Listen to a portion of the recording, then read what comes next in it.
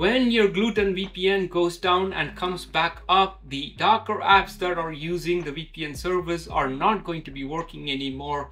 How do you make sure that they come back online as well? Let's find out.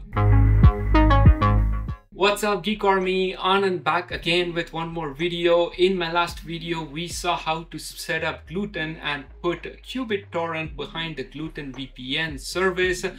During the video, I also explained that there is one problem, which is when we restarted the Gluetun VPN container, the internet on the qBittorrent container went off which is the expected behavior. This is the kill switch. So we'll have to make sure that we manually recreate the qBittorrent every time the VPN goes down and comes back up. But fortunately, there is a solution for this DeUnhealth and that's exactly what I'm going to demonstrate today. How can we use DeUnhealth to make sure that the qBittorrent container comes back up again online after VPN goes down and comes back up. So let's find out. But before we move forward, please like, subscribe and hit the notification bell so you know when that next video comes out. And if you really like what I have been doing with this series, starting from the very beginning to all the way now, going step by step through the whole process, then consider becoming a member that would really help me out and that really enables me to make more and more videos. So let's move on. Let's find out how to set up DeUnhealth and make sure that your qBittorrent container comes back up online when your VPN goes down and comes back up. All right, as always, uh, I am on my Proxmox web interface on Proxmox LXC 800, which is the container that we have been building continually over my past videos. We're gonna continue working on that. At this point, it already has Traefik. Right here, you can see the Traefik dashboard. I'm already SSH'd into the container. So if I do sudo docker ps, we should see what's already running all of which were built in my past videos.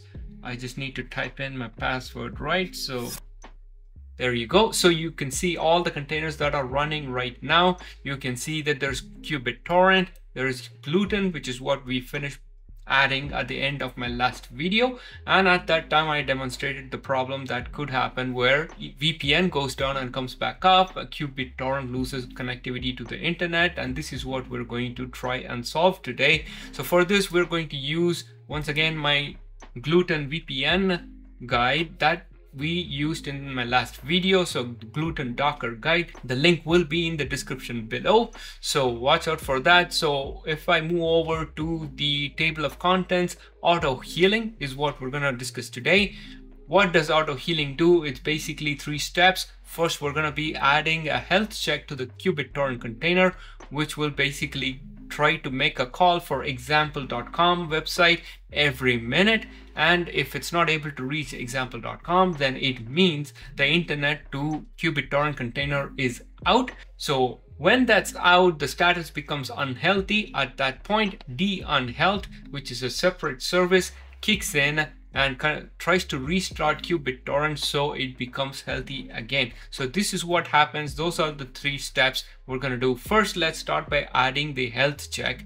Right here is the health check code. You can also go to my github repository which is right here. Start by over 2700 people. So there's a lot of valuable information here. This is my real setup. So check it out so we're to go into the compose folder and the folder that I have for my home server. So if I go in here, I should be able to see qBittorrent. So let me scroll down right here. And here's all the Docker Compose information. Now, until this point, whatever I'm highlighting right now is what we created in my past videos. We left out the rest and that's what we're gonna add today. We're gonna copy this over to the Docker Compose file this is why I like MobaXterm because there is an SFTP browser on the left and I can just right click on qBittorrent and edit it. I think I may already have it open. I don't know. Yes, I do have it open. So two times now. So I'll close one instance.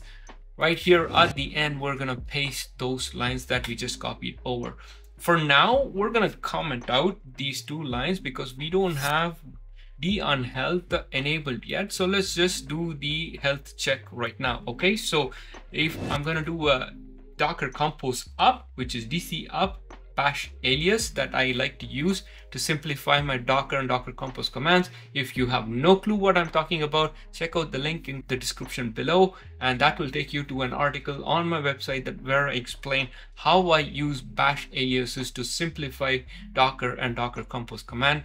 So here DC up would be Docker Compose up so I'm going to do that right now and qBittorrent should recreate because of the new lines that we just added to the Docker Compose file. So now I am going to demonstrate the problem one more time. So I will restart Gluetun, DC rec Gluetun, and this should cut off the internet connectivity for qBittorrent because of the kill switch and now the health check com comes in. If qBittorrent is not able to access internet it should become unhealthy. So let's check that. So sudo docker ps or dps my bash alias. If i do that right now you can see it's in uh, starting status.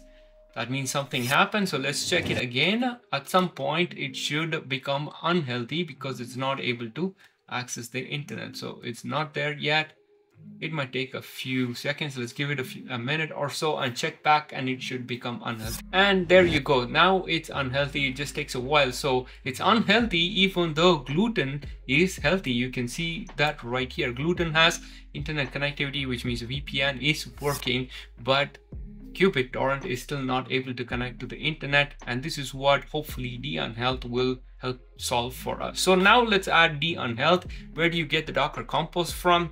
Once again, in my GitHub repo, there is the DeUnhealth right here. And we're going to copy this over and create a new Docker Compose file in the same folder.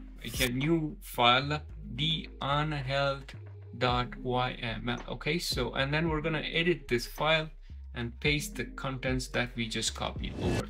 There's really nothing to change here. DeUnhealth does require access to the socket proxy. This is why it's part of the socket proxy network. Where is the socket or Docker socket available? It's right here, TCP port 2375 on the container socket dash proxy. If you're not using socket proxy, you have to make some changes here, but that's going to be out of the scope for this video. But if you have been following my videos, this should be no problem. If you have been following my guides, this should be not a problem. So I'm going to save this right one.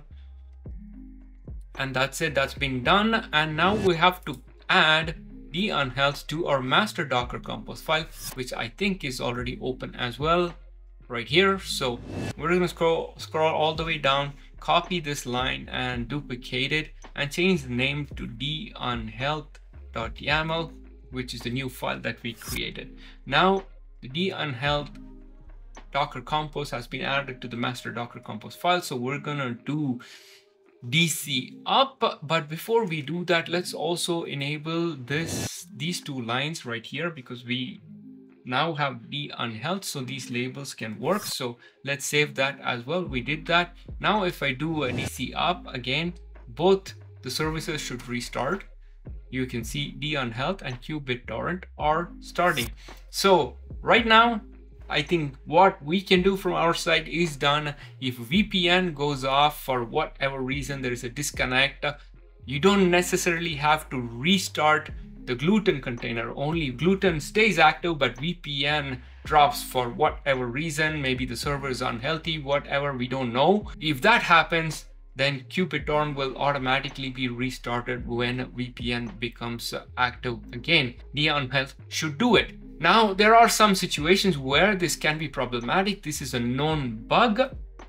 Right here, you can see there is an open bug on DeUnhealth container where sometimes it does not auto start qBittorrent. One of those situations would be if the whole Gluetun container is recreated. So that's why I couldn't show you the problem going away the same way I did when the problem occurred. For example, if I do DC rec Gluetun right now, Gluetun restarts and becomes healthy and qBittorrent became unhealthy eventually. But DeUnhealth should have restarted it, but it won't in this case because of that bug. So let's try that and I'm going to follow DeUnhealth logs this time. And let's see, oh, that wasn't the command. Anyway, let's wait for Gluetun to restart. Now, after a few seconds, Gluetun should become healthy and VPN should become active. I'm going to follow DC logs DeUnhealth. This should follow the logs right here. In, a, in about a minute, you're going to see a message that says qBittorrent container is unhealthy. This is because internet activity or internet has been cut off on that container and DeUnhealth will try to restart the container, but it would fail because of that bug. Let's see if that happens. Here you see the notification, qBittorrent container is unhealthy, but it failed to restart the container. This is because when Gluetun container restarted, the ID of the qBittorrent container also changed. This is why DeUnhealth is not able to find that qBittorrent container again using this ID right here, which is now different than what it was before. So it can't restart. This is a known issue. Hopefully uh, this will be fixed at some point, but right now there's no solution. So as long as Gluetun itself is not recreated and you lose VPN connectivity and it comes back up, you should not have any problem with this. So there you have it. Now, this is the end of the three-part series. In the first part, we had qBittorrent set up just the plain old way and available behind Traefik Reverse Proxy at qubit.simplehomelab.com. No VPN privacy protection. And then we added Gluetun VPN with Surfshark VPN WireGuard protocol to protect our privacy while using qBittorrent. But there was one problem that still existed which is what we tried to solve with this third part video and we solved it for the most part. As long as we don't have any issues with the Gluetun container we should still have DeUnhealth doing its job and restarting qBittorrent when the VPN connection drops and comes back up again. So that was it I hope you guys liked it. I hope you guys learned something out of it. As always, please like, subscribe and hit the notification bell so you get notified when the next video comes out. If you have been liking or if you have followed what I've done so far and like it, please consider becoming a member and that would help me out a lot as well. Otherwise, thank you very much for watching and I will see you in my next video. Go Geek Army.